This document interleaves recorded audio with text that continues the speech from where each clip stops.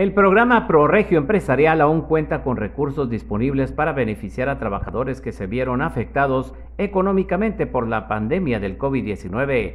El alcalde de Monterrey, Adrián de la Garza, acudió a la empresa RG Triturados dedicados a la compra-venta de material para la construcción, ubicada en la colonia Villa Florida, para entregar cuatro tarjetas de débito a igual número de trabajadores, donde se les depositará el apoyo económico. A la fecha van más de 2.700 empresas que se acercan al municipio de Monterrey para pedir información.